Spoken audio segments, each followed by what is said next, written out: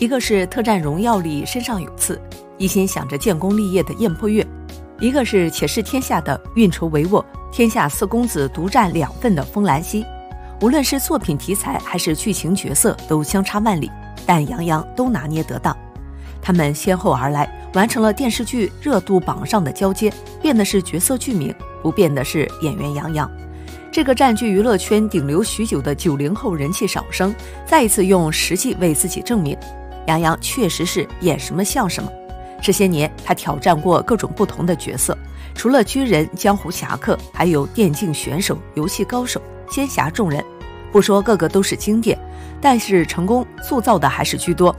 当然，杨洋的演技也并非完美，他也承受了不少的诟病。有网友发文：“杨洋被质疑演技，你同意吗？”网友也是各执一词。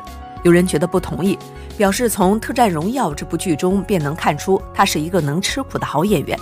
这样敬业的好演员在圈内不算多。但也有人觉得杨洋过于帅而自知，眼神没有戏，演技不放松，时时刻刻都在耍帅，演技并不足以支撑 S 加大制作的男一，全靠脸撑着。但对于认可杨洋演技的网友而言，他不过是演技九十九分，却长了一张一百分的脸。演技千人千面，有人能够领略，有人 get 不到。但不难看出，对于杨洋的颜值，大家却是如出一辙的认可。这位长相清秀俊朗，却有着极度辨识度的男演员，几乎是等比例长大，却在不知不觉中沉淀出一种别样的魅力。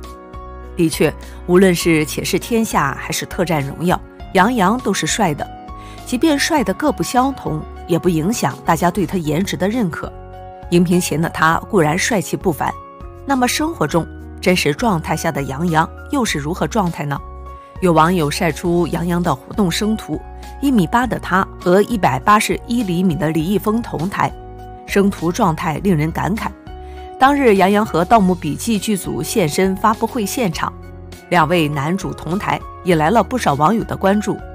一米八零的杨洋和一米八一的李易峰站在一起，身高相当，但看上去却似乎的更削瘦一点。两人都是娱乐圈公认的门面担当，当时基于一部戏掀起了一部追剧的狂潮。戏里的吴邪和小哥风格迥异，戏外两人风格依然不同。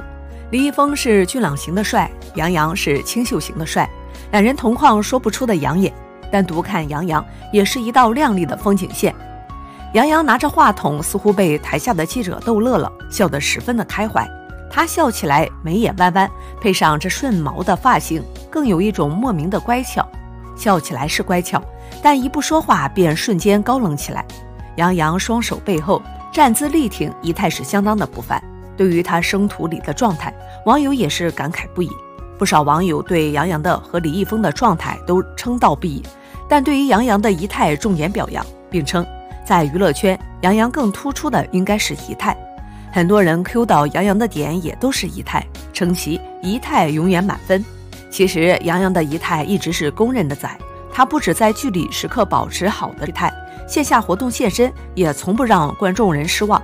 即便是在一片混乱的场景中，他依然身姿力挺，丝毫不受外界的影响，身板依然挺得板正。可惜的是，总有人将仪态好误认为是端正。觉得杨洋偶像包袱太重，剧里只知道耍帅，这或许也是演员无奈之处吧。自2021年《你是我的荣耀》小火之后，杨洋又携两部新剧而来，两个角色风格迥异，但都能诠释得当。